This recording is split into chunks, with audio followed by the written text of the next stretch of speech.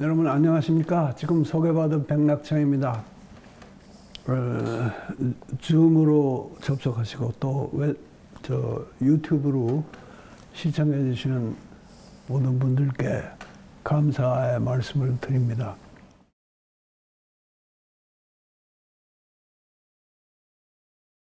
어, 내가 이제 분단체제 변혁의 공부길이라는 94년도 책 이래로 어, 이런 종류의 책이 이번에 여섯 번째 책이 됩니다. 네. 어, 다섯 번째 책이 나온 이후로는 음, 한 10년이 지났어요. 그 2013년 체제 만들기라고 네. 조금 독특했죠. 그 정치 팸플렛 비슷하게. 어, 그때 2012년 선거를 통해서 우리가 2013년부터 어떤 새로운, 완전히 새로운 세상을 만들어보자 하는 그런 꿈을 갖고 했는데, 어, 뭐 아시다시피, 아니, 적어도 저로서는 참담한 실패를 겪었습니다. 그러, 그런데 그때와 지금 사이에 일어난 큰 사건이 우리가 2012년 선거에서 져서 이루지 못한 일이 2016년, 17년에 저는 그 촛불 대항쟁이라고 부릅니다만은 그, 그걸 통해서 이루어져서 이번에 서장 쓸 때는 어, 그때보다 한결 가벼운 마음 네. 또 희망을 갖고 썼죠. 네.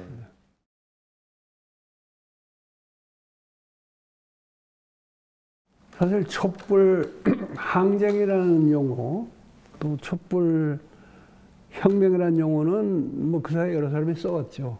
네. 그런데 여기 이제 호- 혼란이 많은데 어, 이걸 어떻게 정리할까 생각하다가 이번 책을 쓰면서 제가 촛불 대항쟁이란 말을 처음으로 썼어요. 네. 왜냐하면 우리 사회에 사실 촛불 시위를 통- 통한 민주항쟁이라든가 반정부 항쟁 이런 거 사실 많았잖아요. 네. 그동안에. 특히 2000, 그러니까 21세기 들어와서 그런 게 많았습니다.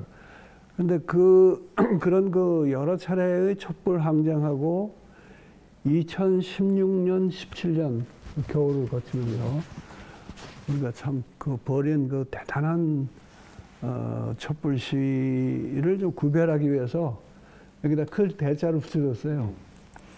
그래서 이제 그런 그 여러 촛불 항쟁 중에서 2016년, 17년에 항쟁을 좀 특별히 구분해 주겠다 하는 그 의도가 하나 있었고요. 또 하나는 조금 아까 말씀하셨듯이 촛불 어, 2016년, 17년에 그 항쟁 자체를 곧 촛불 혁명이라고 생각하는 사람들이 많아요. 네. 그러면 이제 어떤 패단이 있냐면은 하나는 어 그게 무슨 혁명이냐 하는 사실 그렇잖아요. 그때 뭐 완전히 평화적이고 합헌 합헌적으로 했기 때문에 이거는 혁명이라는 개념에 안 맞는다 하는 어, 논의가 특히 학자들 간에 어, 꽤 있고요.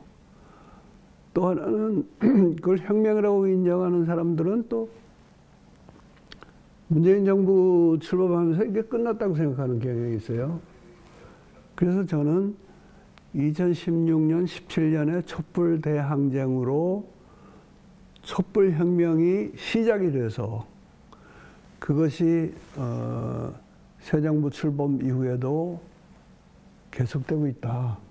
이제 그런 어, 그런 뜻으로 촛불 혁명을 촛불 대항쟁하고 구별해서 썼습니다.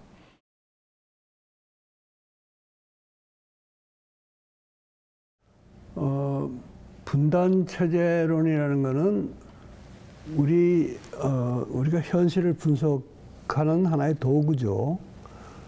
어, 그거 자체가 무슨 해법을 제시하는 건 아니라고 봅니다. 자세한 해법을 제시하는 건 아니죠. 그러니까 우리가 우리 현실을 생각할 때 이게 분단된 한반도의 현실이고 한국이라는 대한민국이라는 분단 국가의 현실이라는 것을 어, 잊어서는 안 된다 하는 게 이제 한 가지이고요. 근데 사실 우리가 분단 국가라는 것을 기득권층들은 잘 알고 있습니다. 왜냐하면 그거를 100% 활용하기 위해서 항상 기억하고 써먹고 있는데 오히려 좋은 나라 만들겠다는 분들이 그거 다 잊어버리고 어 그런 그 분단이라는 결선이 없는 나라인 것처럼 생각하면서 이런저런 처방을 내놓으니까 이거 안 맞는 거예요. 그래서 우선 그 진단을 할, 할 때, 어, 이게 분단 국가라는 걸 항상 기억하자. 뿐만 아니라 이 분단이라는 게 세계사적으로 굉장히 독특하고 또 이렇게 오래 가는 사례가 드물잖아요. 그래서 그런 과정에서 이것이 일종의 체제가 되어 있다. 그러니까 한국이 분단 국가일 뿐 아니라 분단이 하나의 체제를 이룬 어, 그런 사회이다 해서 그 체제에 대한 이런저런 검토를 하자는 게 분단 체제론이고요. 그러니까 이게 이제 제대로 되려 그러면 분단 체제론에서 분단 체제 극복 또는 해소 방안이 나와야 되는데 그건 또 더 어려운 문제입니다.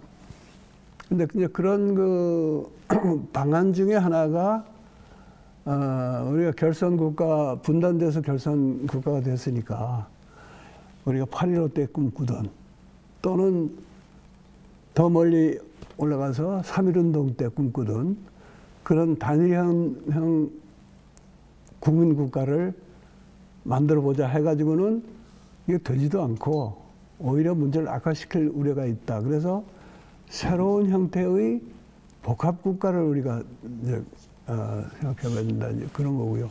이게 사실은 말씀하신 이주민 문제하고도 관련이 되는데요.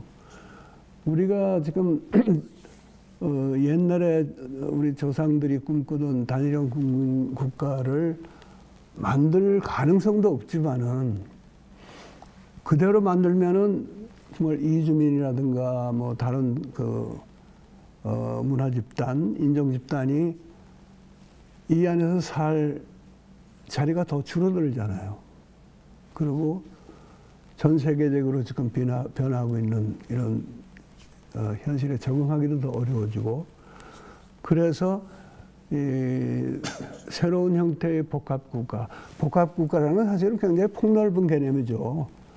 국가, 연방국가도 복합국가고, 국가연합도 복합국가고, 국가연합도 여러 층위가 있잖아요.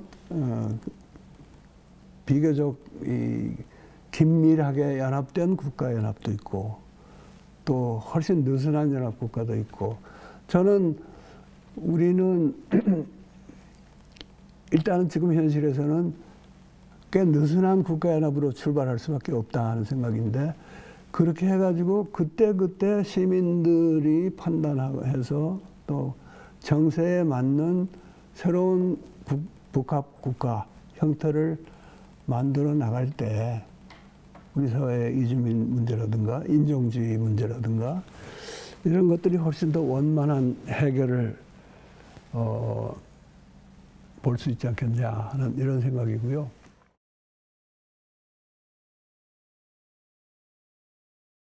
이야기 나온 김에 그 선진국이라는 개념에 대해서 어, 어느 분이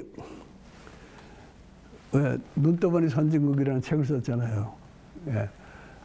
그러, 그런데 실제로 그분이 하는 얘기는 우리가 선진국이라는 자랑만은 아니고 이렇게 여러 가지 경제 지표라든가 이런 걸 봐서는 엄연한 선진국인데 또 여러 면에서 너무나 후진적인 그게 많이 있다 하는 진단을 하고 하고 계시더라고요.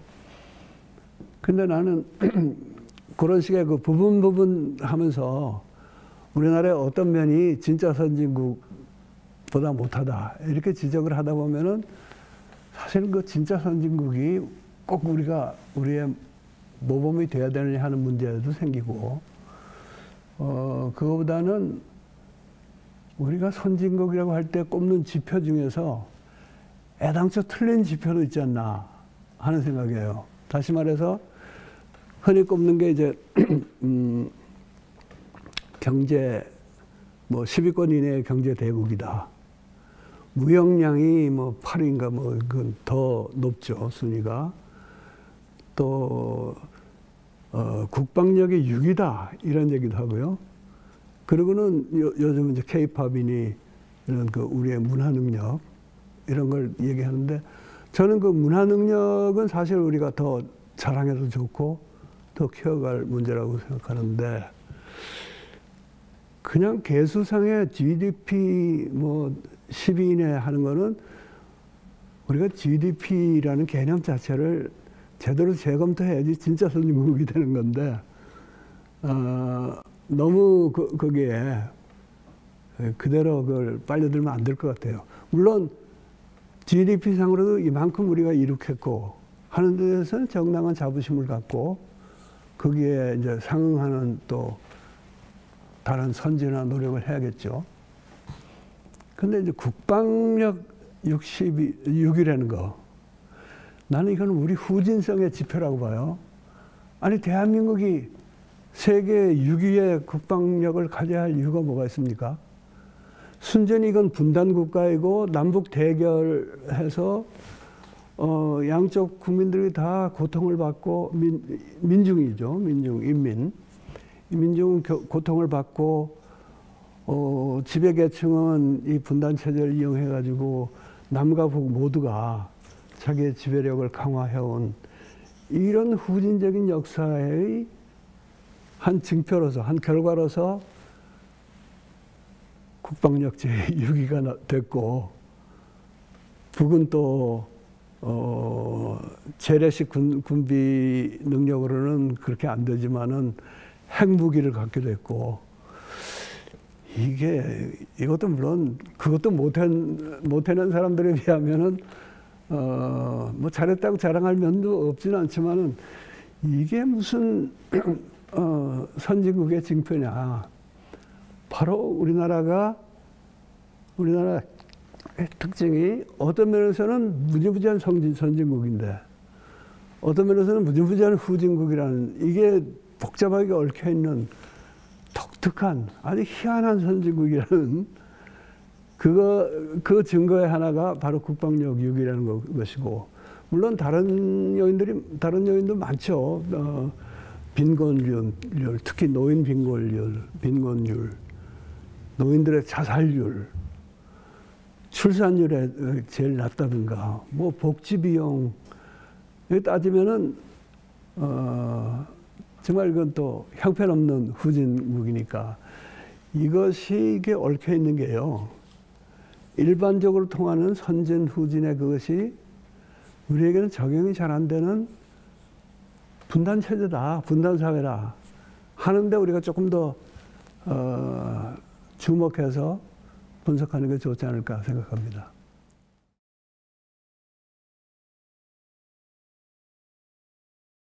우선 그 돈보다 생명이라는 구호는 세월호 이후에 우리 사회 전체에 걸쳐서 나온 거지 뭐 내가 만, 만들어낸 말은 아닙니다. 그 지금 어, 언급하시는 그 대목이 어, 이 책의 제9장 페이지 수로 하면 246면부터 249면까지 페이지까지 걸쳐서 나오는데 나는 오히려 돈보다 생명 당연하죠. 당연 돈 그러나 어 그 그것도 따지고 들어가면 굉장히 복잡한 문제다. 그래서 어 무조건 생명이 중, 중요하다. 이렇게 말할 수도 없는 거고. 그래서 돈보다 생명인데. 그러면 그렇다고 돈이 돈은 중요하지 않단 말이냐 하면 아니잖아요, 그거는. 그래서 지금 이중성이란 말 하셨는데, 그 나쁘게 말하면 이중성이지만은 사실은 그것이 내가 말하는 근대에 우리가 적응하면서 극복해 나가는 또 극복하면서 함으로써 더 잘 적응하는 이런 그 이중 과제와 연결이 된다고 봅니다. 그렇잖아요. 돈, 돈이라는 게 우리가 정말 금전 만능주의에 빠져, 빠지고 또 이 자본주의 사회처럼 어, 이윤을 극대화하는 그 논리를 가지고 운영하는 하는 그게 문제지. 아, 우리가 어, 기본적인 생활을 하기 위해서 돈이 필요한 거고, 그래서 그거를 그 돈을 무시하고 생명만 존중하자 그러는 건 사실은 돈이 있는 사람들이 어, 나할 수 있는 편한 얘기가 되는 거예요. 그래서 현장에서 열심히 일하고 또 아주 넉넉지 못한 사람들이 아니, 돈보다 생명 그거 좋은 얘기지만은 어, 그, 그 그대로 따라갈 수는 없겠다 생각하는 것은 나는 건 너무나 당연한 것이고 다만 그냥 그러니까 난 돈만 잘 벌고 살겠다 하는 쪽으로 가지 않고 내가 돈 나는 이 돈 위주로 돌아가는 이념 사회가 지긋지긋하지만은 이거를 어떻게든지 바꾸려면 첫째 내가 내가 살아야 되니까. 살아는데 필요할 만큼은 돈벌이를 해야겠고. 또 이런 뜻을 같이 하는 사람들이 연대해서 활동하기 위해서도 또 어느 정도 돈이 필요하면은 그것도 어떻게든지 만들어야겠고. 그러나 목표는 돈보다 생명이다. 예, 그, 그렇게 나가는 것이 어, 사실 어, 이저 근대 이중과제라는 게 조금 어려운 개념이라서 오늘 설명을 별로 못했습니다만은 그 일단을 지금 그런 데서 엿볼 수 있죠. 이게 그냥 그야말로 상관없는 거대 담론이 아니고 우리 일상과 관련 거대 담론이 아니고 어 참 우리 삶과 밀착된 담론이라 하는 점을 제가 말씀 어, 드리고 싶네요.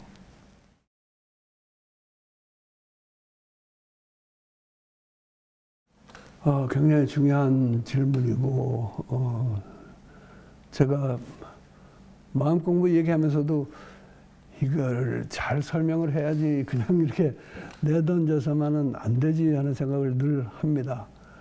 어, 마음 공부라는 건 이제 불교나 오물교에서 많이 쓰는 용어이고 어, 기독교 쪽에서는 이제 영성을 강조하는 어, 그와 통하죠 서로.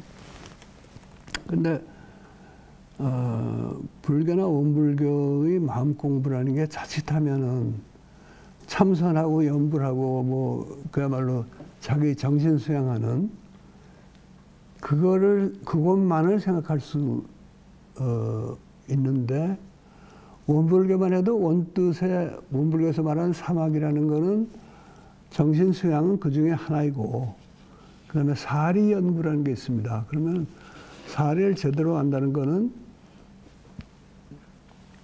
통일운동과 관련해서는 제가 말하는 분단 체제, 분단에 대한 인식을 하고 또 분단이 이미 체제가 되어 있다는 그런 인식을 하는 것도 사리 연구의 일부가 되죠. 그리고 원불교에서는 이제 불교하고 달라서 어, 작업 취사라는 게 이 사막의 열매라 그래요. 작업 취사라는 건 쉽게 말하면 실천입니다. 실천. 그래서 그 세 가지를 다 공부하는 것이 마음 공부인데, 어, 그렇다면 그게 이제 우리가 통일을 하든 국내 개혁을 하든 중요한 거는 너무나 분명하죠. 더군다나 요즘 이제 세상을 보면은 정말 마음 공부하는 사람들이 너무 많고, 어, 또 그 사람들이 너무 대접을 받아요. 그 대접받다 보니까 자기 기득권이 위협받을 때는 이상해져. 이상해져가지고, 어, 한때 멀쩡해 보이던 똑똑한 사람들이, 어, 어느새 보면은, 어, 태극기 부대 비슷한 소리도 하고요. 그러니까 아니면 태극기 부대처럼 나가는 사람은 그렇게 많지는 않고, 대개는 이제 양비론을 나갑니다. 이번 선거에서도 찍을 놈이 없다. 뭐 이거 최악의 선거다. 이런 식으로 하는데 어, 선거 얘기가 나왔으니까 망정인데 이번 선거처럼 선택이 분명한 선거가 어디 있습니까? 이거는 누구 개인이 얼마나 잘났고 누가 뭐 어떻게 하는 그런 차원의 문제가 아니에요. 우리가 촛불 혁명을 수행하다 보니까 어, 우리가 바꾼 것도 있고 아까 조영문 선생 지적했듯이 바꿔야 할 거를 함께 안 달라지는 것도 있지만은 옛날하고 크게 달라진 것 중에 하나는 오히려 나는 기득권 세력의 민낯이 속속들이 드러났다는 거, 드러나고 있다는 거예요. 그리고 그것이 우리 선거 과정에서도 더 선명하게 드러나고 있습니다. 선거 과정에서 그동안의 기득권 세력이 지금은 어떻게 놀고 있는가? 어떻게 이 선거판에서 정치 혐오를 조장하고 기계적인 중립론으로 이슈를 흐리고 그야말로 민중들의 얼을 빼는 수작들 하고 있는가 이거 보면은 이번이야말로 이 속속들이 드러난 민낯을 우리가 다소나마 청산, 청산하느냐?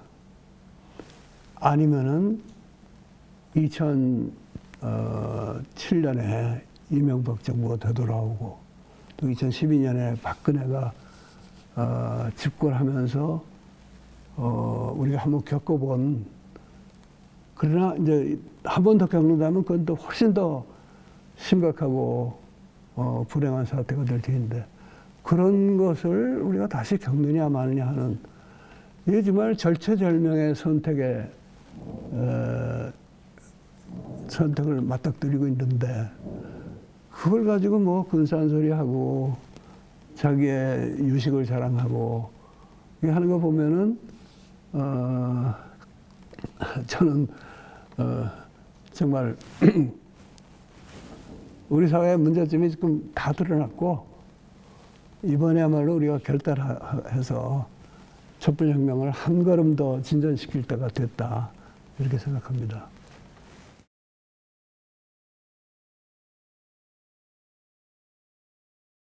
저는 그참 탁견이라고 봐요. 가령 어, 혐오가 여러 가지가 있는데 그 중에 하나가 이제 여성 혐오 아니에요. 요즘 이게 여성 혐오라는 거는 어, 말하자면 과거의 가부장 시대의 여성 차별, 남전 여비하고 조금 성격이 다르다고 봐요. 거기는 그냥 옛날에는 남자가 더 높다. 아주 대놓고 주장을 하는 대신에 여성을 차별하긴 했지만은 뭐 그렇게 요즘까지 혐오하고 괜히 찔러 죽이고 이런 일은 몰라 내가 역사를 무식해서 그런지 몰라도 많지 않았을 것 같아요. 근데 그 왜 그런데 이런 혐오가 생겼느냐? 바로 남전 여비의 이데올로기가 무너지고 적어도 우리가 명분상으로는 양, 성, 성평등을 주장하게 됐잖아요. 그러니까, 그리고 실제로 또 여성 지위가 뭐니 뭐니 해도 과거에 비해서 어, 향상이 됐고, 그러니까 이게 이제 기득권을 누리던 남자들, 뭐 다 그런 건 아니지만 상당수가 점점 화나는 거야, 이건. 옛날 같으면은, 어, 대놓고 여자들 좀 가만히 있어 그럴 텐데 지금 그랬다 또 큰일 나잖아요. 또 자기도 또 자기는 어 근대에 늘어서 그런 그 어, 성차별주의, 가부장주의를 신봉은 안 한다고 주장들 하잖아요. 그러니까 지금 여, 여성차별이라는 거는 옛날 가부장제에 비하면은 일부는 완화되는 대신에 훨씬 위선적이고 비열해지고 때로는 폭력적이 되어가는 이, 이 현상이라고 봅니다. 그래서 어, 성차별의 문제도 그렇고요. 어, 지금 온갖 혐오와 뭐 참 거짓말을 거짓말이 난무하고 있는 이 현상도 어, 그동안에는 이 기득권 세력들이 자기들이 뭐 마음에 안 들면 그냥 잡아가면 됐어요. 예, 잡아가면 됐고 정권 차원에서는 어, 보기 싫은 놈은 잡아다 패면 됐고. 근데 지금 안 되잖아요, 그게. 안 되는데 어, 기득권 놓기 싫단 말이에요. 그러니까 이거를 이제 온갖 뭘 날조하고 또 그야말로 참 어, 입만 열면 거짓말하는 후보가 때로는 인기를 끌기도 하고 이런 사태가 생기는 것 같습니다. 어, 옛날보다 이게 누구를 빨갱이라고 욕하는 사례가 사실은 늘어났습니다. 네. 아무나 보고 빨갱이라고 그래요. 근데 그것도 나는 반공 이- 이데올로기의 퇴조하고 관계가 있다고 봐요. 옛날 같으면은 누굴 빨갱이라고 일단 지목을 하면 그 사람 잡아가야 돼. 네. 그렇기 때문에 당하는 사람도 더 괴롭지만은 그렇게 함부로 말을 못해요. 누구를 빨갱이를 못해요. 그래서 지금은 내가 저 사람을 빨갱이라고 불러도 저 사람 안 죽는다는 걸 되게 알아요. 음. 그냥 까불지 못하게 해가지고 내 기득권을 지키겠다 하는 그런 목적으로 빨갱이 빨갱이 하니까 이 빨갱이 담론은 훨씬 더 범람을 하는데 이것이 반공 이데올로기의 퇴조와 관련되어 있다고 지적하신 이 질문자의 통찰은 나는 그 굉장히 정확한 어, 것이라고 생각합니다. 새삼스럽게 제가 뭐 정리할 수 있는 건 아니고 그냥 인사 말씀을 한번 더 드리겠습니다. 이렇게 어, 참 귀한 시간 내서 참여해 주시고 또 좋은 질문 해 주시고 그래서 저로서는 참 보람 있는 시간이었고요. 대단히 어, 감사하게 생각합니다. 이것으로 오늘 근대 이중가제와 한반도식 나라 만들기 북토크는 마치도록 하겠습니다. 감사합니다. 예, 감사합니다.